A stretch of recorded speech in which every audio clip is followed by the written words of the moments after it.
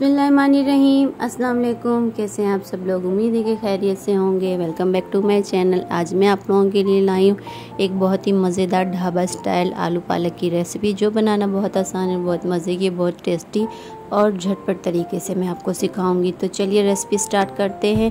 यहाँ पे मैंने ले लिया एक किलो के करीब मैंने पालक ले लिया और उसको काट के अच्छी से वॉश करके रख लिया है मैंने।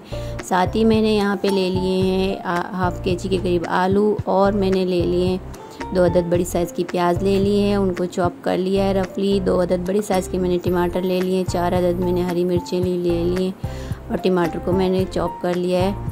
मसालों में हमें चाहिए one tablespoon red chilli powder one tablespoon धनिया powder half teaspoon chilli flakes इससे जायका बहुत मज़े का आता है। हाफ़ टी स्पून गर्म मसाला हाफ़ टी स्पून हल्दी और नमक हजवे जायका।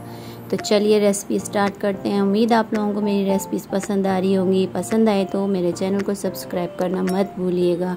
सब्सक्राइब ज़रूर कर लिया करें। यहाँ पे मैंने एक कप ऑयल ले लिया और उसमें प्याज को हल्का सा मैंने फ्राई कर लिया है। साथ ही मैंने इसमें आलू ऐड कर दिए हैं। उनको भी मैंने फ्राई कर लिया है। हल्का सा इसको आप फ्राई कर लें। जब वो थोड़े से फ्राई हो जाए कलर चेंज होने लग जाए तो इसमें हम शामिल कर देंगे टमाटर, हरी मिर्चें और जो मैंने आप लोगों के साथ मसाला शेयर किया है वो मैं इसमें शामिल कर दूँगी।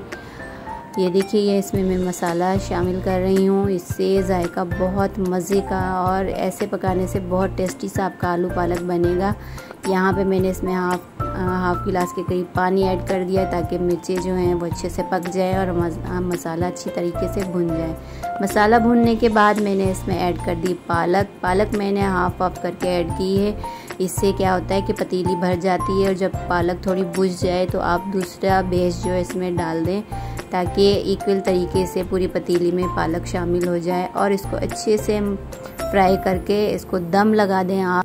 20 मिनट्स के लिए, क्योंकि पालक में अपना भी पानी शामिल होता है, उसी से हमारे आलू भी गल जाएँगे और पालक भी। ये देखिए 20 मिनट्स के बाद मैंने इसका जब ढक्कन हटाया, आलू गल चुके थे और पालक भी अच्छे से पक चुकी थी। अब मैं इसको फ्राई करके अच्छे तरीके से इसको डिश आउट कर लूँगी।